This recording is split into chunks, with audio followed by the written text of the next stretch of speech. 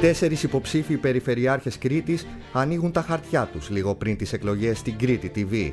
Ο Σταύρος Αρναουτάκης, ο Σπύρος Δανέλης, ο Νίκος Ζαμπουλάκης και ο Αλέκος Μαρινάκης συζητούν για τα μεγάλα θέματα της Κρήτης το χθες το σήμερα και το αύριο της πιο δυναμικής περιφέρειας της χώρας. Τους υποψήφιους περιφερειάρχες Κρήτης υποδέχεται ο δημοσιογράφος Λευτέρη Συμβουλάκη στην εκπομπή της Κρήτη TV Ελεύθερο Σημείο, ζωντανά το βράδυ της 5ης στις 10 παρα 10.